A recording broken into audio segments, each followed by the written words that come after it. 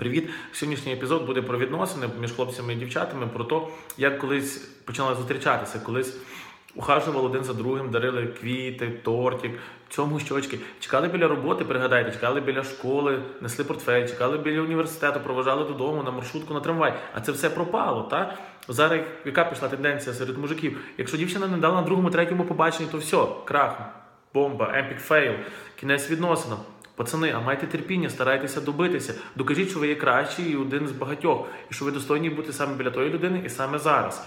Появилась категорія дівчат, які до мене підходять в нічному клубі і кажуть: ви МС, та угостіть мене коктейлем.